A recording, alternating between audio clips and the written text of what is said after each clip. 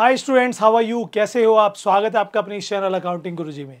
जब भी कोई लेटेस्ट गवर्नमेंट जॉब अपॉर्चुनिटी आती है, सबसे पहले मैं अपने इस चैनल पे आपको बता देता हूँ। इसलिए अगर आप भी गवर्नमेंट जॉब के बारे में रिसर्च कर रहे हो सर्च कर रहे हो कौन सी अपडेट आ रही है अप्लाई करना चाहते हो तो फटाफट से वीडियो को लाइक कर दो और चैनल को सब्सक्राइब कर दीजिए।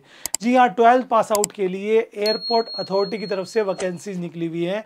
कोई भी स्ट्रीम का स्टूडेंट अप्लाई कर सकता है। मिनिमम एलिजिबिलिटी है ट्वेल्थ पास आउट अब आप सोचो, अच्छी खासी सैलरी है सेंट्रल गवर्नमेंट पीएसयू कंपनी की जॉब है।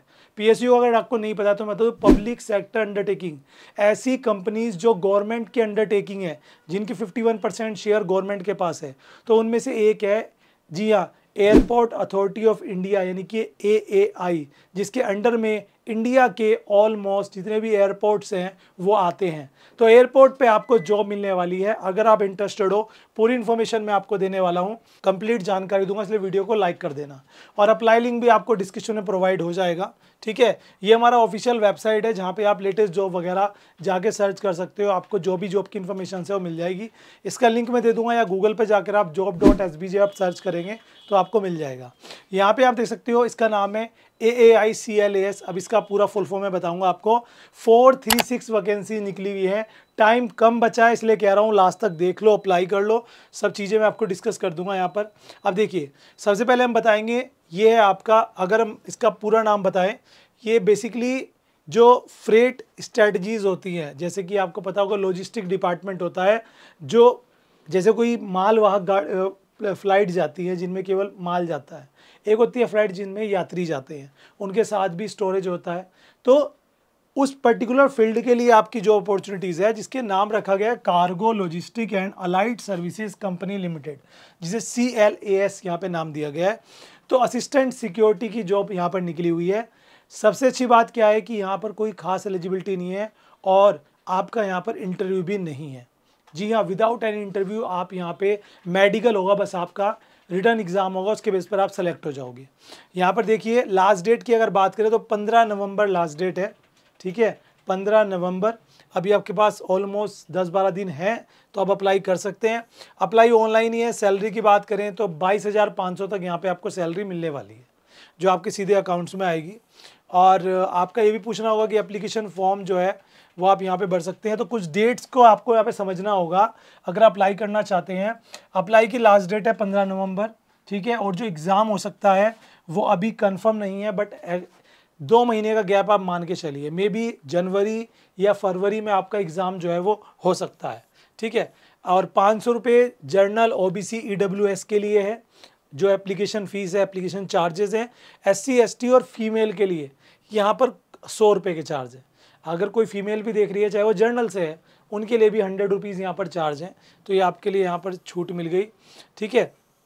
बाकी एज लिमिट वगैरह की बात कर लेते हैं तो यहाँ पर सत्ताईस साल से कम एज के अप्लाई कर सकते हैं। अगर आप एक अक्टूबर को सत्ताईस साल के पूरे हो चुके हैं तो आप अप्लाई नहीं कर सकते। ठीक है? बाकी एज लिमिट वगैरह यहाँ पर आपको मिल जाएगी, जो रिटेंशन वगैरह है, वो सब आप चेकआउट कर सकते हैं। ठीक है? अब बात करते हैं कि जो भी आप यहाँ पे देखो जो प्रोसेस है, वो क्या है कि जब आपने अप्लाई कर दिया तो प्रोसेस क्या है सिलेक्शन का? सबसे पहले जब आप फॉर्म फिलअप करेंगे तो यहाँ पे कोपरेशंस हो गए। कोपरेशंस मीन्स आपका जो फॉर्म वगैरह भर रहे हो, उसकी चेकिंग होगी, जिसे हम आर्चिव चेक भी कहते हैं।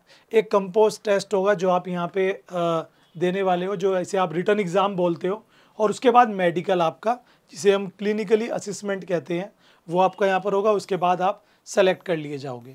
ठीक है? पहले साल आपको इक्कीस हज़ार पाँच सौ सेकेंड ईयर बाईस हज़ार थर्ड ईयर से जो सैलरी रहेगी वो बाईस हज़ार पाँच सौ आपकी रहेगी। अब अप्लाई का लिंक मैं आपको बताऊँ तो ये देखो, ये ऑफिशियल लिंक आ चुका है यहाँ पर, ठीक है? अब यहाँ पर देखो नोटिफिकेशन भी मैं आपको दिखा देता हूँ, जो बेसिक नोटिफिकेशन है यहाँ पर, ठीक है अप्लाई की। तो ये दोस्तों आप देख सकते हैं, मैंने ऑफिशियल नोटिफिकेशन भी आपके सामने ओपन कर दिया है, जो, जी हाँ जो A I C L S company द्वारा यहाँ पर निकला हुआ है और असिस्टेंट सिक्योरिटी ये आपके सामने है और ये पैन इंडिया बेसिस पर है तो ऑल ओवर इंडिया के ऑलमोस्ट बड़े सभी शहरों में यहाँ पर जॉब आपके लिए निकली हुई है। आगे चलते हैं, इस चीज़ को समझते हैं, यहाँ पर फ़ीस वगैरह सब क्लियर है एज क्राइटेरिया वैसे इनका कहना है कि अगर आप फाइनल ईयर में हैं ग्रेजुएशन के तो भी आप अप्लाई कर सकते हैं, कर चुके हैं तो भी आप अप्लाई कर सकते हैं, ठीक है? ये आपकी कंप्लीट इन्फॉर्मेशन आ चुकी है। और वैसे मैं प्रॉपर लिंक आपको जो है डिस्क्रिप्शन में दे रहा हूँ। आप जाके पूरी डिटेल पढ़ सकते हैं, वहाँ से जो अप्लाई करेंगे, आपको डायरेक्ट अप्लाई का लिंक भी जो है वो मिल जाएगा।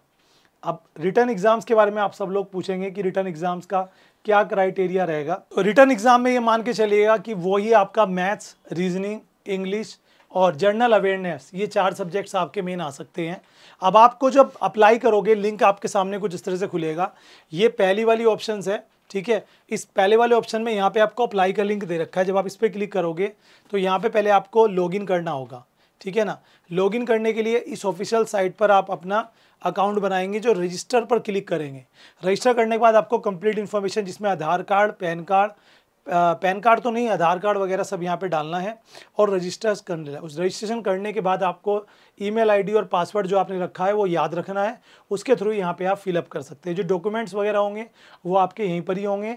अगर आप अच्छे से नहीं कर सकते तो मैं कहूँगा किसी साइबर कैफ़े जाकर या कंप्यूटर सेंटर पर जाकर आप अप्लाई कर लीजिए। टाइम कम बचा हुआ है, लेकिन भर्ती अच्छी है। सबसे बड़ी बात है कि कोई खास यहाँ पे इंटरव्यू वगैरह नहीं है। आपने एग्ज़ाम क्लियर किया मेरिट लगेगी, उस बेस पर आपको हायरिंग कर ली जाएगी।